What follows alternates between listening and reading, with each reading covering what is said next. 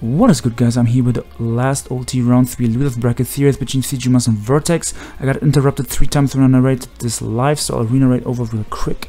Cdumas always has to switch out here, even if his land with Scarf, fearing a potential Scarf Greninja. Toxapex is quite obvious here, so if Vertex didn't want to reveal that he's Scarf, he could have doubled out. T-Spikes are gonna be a pain for Vertex in this game, especially if his default is the Mew and not the Scizor. But even if it is the Scizor, T-Spikes have more PP than uh, Defog, so the, the T-Spikes are gonna go up eventually. And yeah, looking at Vertex team, it could be Default Mew and SD Scizor. The Garchomp is um, probably not Scarf, no that we know that it's Scarf Greninja. This could be SD Z-move Garchomp, and then it could be like Specs Koko. Uh, it's most likely a Assault Vest Tangrowth. And yeah, Looking at Cdumas' team, I assume that's uh, Scarf Lily and defensive Lando because he's quite weak to Zygarde. And yeah, Toxapex is just amazing in this matchup. He only has Koko to beat that. And Vertex has a Ferrothorn, so unless the Koko has him Power Fire. Ferrothorn checks it pretty well, and like, just feels like a good matchup for Cdumas. So Vertex is either gonna go for Rocks here or for SD if he's an SD Chomper assume that's a Banter on CGMA's side. It could also be Mega, but I feel like it's banded um, to have some breaking power. So he goes for SD, and CGMA's might go on into Tapu Lele here, scouting for the Z Outrage. Uh, it's obviously not gonna go hard for Outrage because he doesn't want to locked in. He doesn't want to get locked in, and he also doesn't wanna um, like no regular Outrage wouldn't kill the defensive uh, defensive Lando. So he goes into Lele. Um, probably Scarf Lily. I'm not 100% sure if Moonblast even outgrows the Chomp, but Vertex is most likely scared out here from a Scarf Moonblast. Um, was a cool play there, getting up the rocks on the obvious switch, but yeah, Cdumas is obviously threatened by a plus one Chomper, so he's uh, just gonna go for Moonblast here. Vertex can do his Assault Vest Tangrowth, or he can go into his Scizor here. Yeah, if I'm hovering over the monster, obviously don't remember what I said because I'm re-narrating. Okay, goes in the Mew, actually don't think he would do that. So Vertex can do here is he can fire off a Will-O-Wisp. Um, the Renix is actually quite obvious, so, hmm, so he just goes for softball, okay. Like, the Renix was super obvious there. I'm a bit surprised that Cdumas goes in Toxapex. Um, I feel like Cdumas wants to just get up the Toxic Spikes, it makes sense, because Cdumas himself doesn't have hazard control, but he wants to pressure Vertex with the hazards. So that Vertex has to defog for Cdumas, so the rocks on Cdumas side goes go away. Like, he doesn't have hazard control, like I said, um, but he does have, oh he goes hard Lele expecting a drag move or SD, really nice play. He does have rocks on most likely Lando, spikes on Ferro and toxic spikes on Toxapex, so he can definitely force his opponent to defog 400, that's definitely cool. But yeah, that was a really, um, you can say risky play, but it worked out for Cdumas and King Moonblast here. Now this gets poisoned. I guess he didn't want to go Scizor, risking that that uh, Sijuma might go for um, Hidden Power Fire. I feel like he should have gone to Scizor there so that his Tangrowth doesn't get poisoned. Um, yeah, you can go for a knockoff here, get rid of a Black Sludge on the Toxapex or on the Reuniclus. One of the two is most likely gonna come out here. Because um, you don't want to let you, the leftovers get knocked off on your Ferrothorn, since a Ferrothorn is just a really nice check for Tapu Koko. So you want to keep that healthy, so I completely agree with you, you must play there. And now you can just spam Scald. Uh, yeah, Toxapex doesn't really care too much about getting knocked off since it has Regenerator and Recover and all that goodness.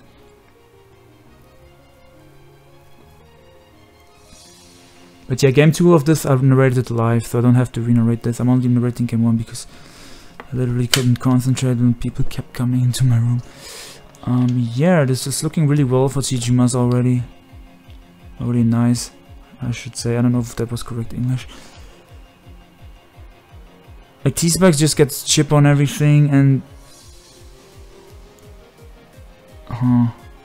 Like Tangrowth cannot stay in because it just loses when we want to patch. Even if it has Earthquake, it just bounces off. So yeah, he's most likely default Mew because of... Like just because of he went into Mew. Um, and to, he got poisoned there. To be fair, what else would he have switched in? I guess he should have he could have switched into Koko. I assume he specs Koko because that means he doesn't have Roost on Koko. And not having Roost on Koko means he wants to defog the T-Spike away before he goes into Koko. Um, because otherwise he just gets worn down, doesn't have any recovery. Defogging that doesn't help him at all. Um, because I mean, it helps him to get rid of the T-spikes for his Grenade, for his Koko, and for his Chomp. But now he, um, can get up a Spike here, and he's leech Seeded, so he keeps taking poison and leech seeds. So like his Mew is not gonna stay healthy at all. And the Ferrothorn being burned is not the biggest deal for Sijima since Burn got nerfed. Um, yeah, Tita is gonna switch out here unless it has speed for Mega Scizor, and it's like if it's maybe a Jolly-Bantha that you don't really see with Fire Punch, that would that would be the only reason to stay in. Uh, but yeah, since he's Helmet Lando, there was actually no reason. Like going Lando was actually a really fine play. Um, we obviously didn't know yet that he was Helmet, so he can threaten out. Um, he he takes spikes, sand, and poison, so his Mew's super low. So I think he's gonna roost here. But yeah, he threatens out the Lando with a potential Ice Beam because he's obviously to be a fast Mew. And yeah, even if he's not a fast Mew for max speed Lando, there's a defensive Lando, so he's obviously to outspeed it. And yeah, CG can just click Crunch here um, in case uh, Vertex stays and goes for Will-O-Wisp. Crunch is always the play to make. Pursuit would be a misplay if you uh, if Mew goes for Wisp there, he would be in a bad spot. Yeah, Garchomp is probably gonna he's gonna gonna predict uh, the Lando here and go for yeah exactly he goes for SD. And yeah, a, I think Bennett Crunch does a fuckload to the Chomper and killed the Mew from full, so yeah, it has to be Bennett. Um, he can go for Rocks here. Yeah, Rocks would be probably the play to make here. I don't think he wants to go for Earthquake, the Lando switch is quite obvious. I can I can see him going for Devastating Drake here, expecting the Lando.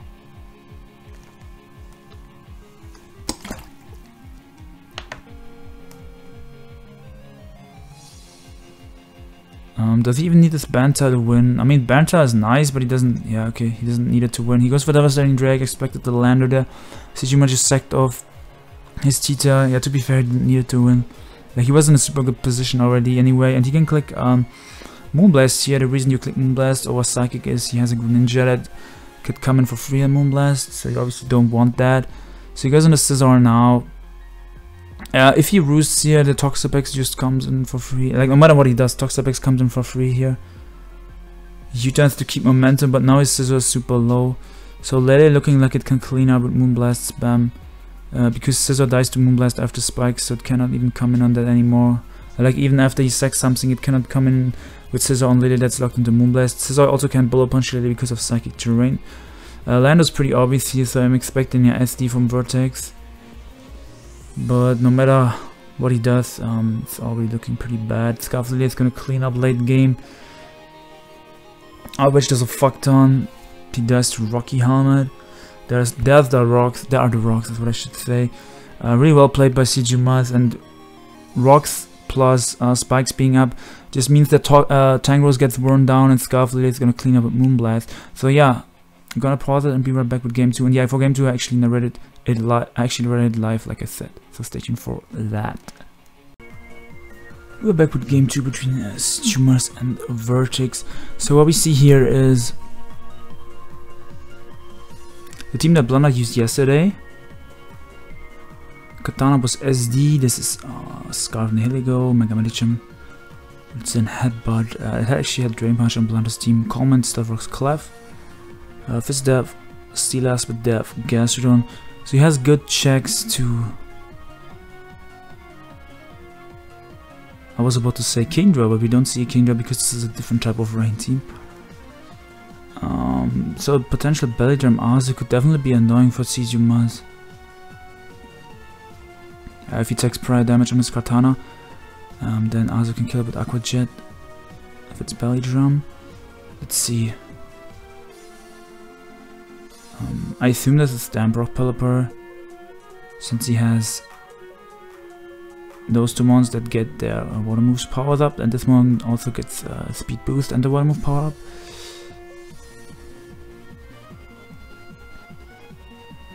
But yeah, Vertex is gonna switch out here.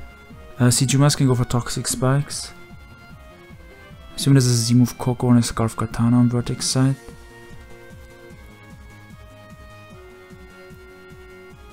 Yeah, you can go for T-Spikes, you're expecting the switch, yep. Because he was never staying in there.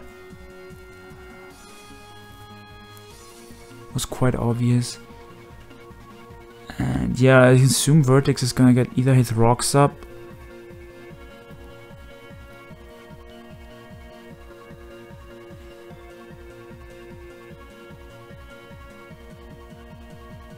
Yeah, exactly. Cdumas brought T-Spikes in game 1 and now again.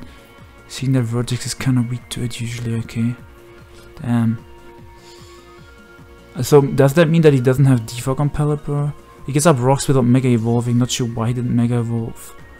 Uh, Cdumas goes Clef, I actually thought he would go in a Celesteela, but Clef uh, makes sense as well. I feel Gaston could be decent in game 2, since uh, Vertex uses Rain quite often, okay. I mean, it doesn't have a Kingdra, Kingdra is like the main one that Gastron would wall. Um, it obviously walls the Greninja of his Ash, unless it gets flinched down. I mean, even Gwen gets checked quite well by Gastron. So it seems that he doesn't have defog, because otherwise I think he should have gone for it. Um, obviously going for rocks doesn't make any sense if you were going to defog right after, so he probably just doesn't have defog. Um, so Kursijima is forced into his Celesteela here, I would say. You obviously don't want to sack your Gastron. It's quite obvious that Vertex is not gonna like just go for Leaf Blade, like double was quite obvious, but there was still no reason for Cdumas to stay in, it's just way too risky when Gastron is like super important in this game. And Vertex double into Greninja doesn't even give him that much advantage because like um, I think Vertex is gonna spike here, anticipating a potential protect. But yeah, Vertex had to take a T-Spike round and he had to take rocks. So that was completely fine for Cdumas. Yeah, he goes for spikes, that makes a lot of sense. And Gastron can just click a Scald or Earthquake here. Probably Scald, trying to burn the Pelipper. Or trying to burn whatever comes in. Does not get it. So he can just go for Recover here um, in case the Pelipper goes for Spikes Hurricane. Or he can also just Scald again, but I assume he went for Recover. He goes for Mirror Coat. Ooh. So he anticipated the Pelipper to attack and he wanted to blow it back. Interesting, so he has probably Mirror Coat instead of Toxic, and then he has Recover and Earthquake or Earth Power in the last two slots, I would assume. So he's just gonna get all, up all his spikes and then die. Oh, he's Protean, I didn't even realize that early. He's Protean Greninja. Okay, he's not Ash. Okay, okay. So this is a free um, Celesteela again. The spikes are obviously nice to do more damage to this, but oh, I guess he just forfeits. Nice team choice. So let me think about what Vertex could have done. He could have doubled in the Koko on a Celesteela, but it doesn't. It wouldn't have done much because he would then he would take, then he would take poison plus rocks. Then Chijima could go for protect, and yeah, this is most likely Scarf because otherwise he could have gone for SD and all out pummeling to weaken the Celesteela. But yeah, toxic spikes just overwhelm him. Well, that was crazy. Game two was just so short. Good god, that's wild. But yeah, this was the last game for round 3. Round 4 is already up. Uh, one game was already played in losers bracket, the one the game between um, here and Sorterest was already played. I can link the replays down in the description if you guys want to see them. I did not catch that series live. I mean, I could record replays, but I feel like I don't want to do that because replays are back, since so you guys can just check out the replay. Um, yeah, I kind of I quite like this team actually. This is something I would build myself. Um, but it's, it's, a bit weird that it has three Ultra Beasts. Um, I actually have been uh, like I don't think Nihilego is that good since Magearna is still around, but I've actually been a fan of Nihilego, but I stopped using it because of the Dougie thing. Dougie was just too too common at one point, so I stopped using Nihilego. It's one of the best Volcarona checks. I know Volcarona is not common at the moment. Um, it's also a really great Zout White check because um, so that's why usually doesn't carry Earthquake anymore. At one point they carried Earthquake, but now they carry Focus Blast because Tita um, is a bit more common because Dougie got banned, or Arena Trap got banned.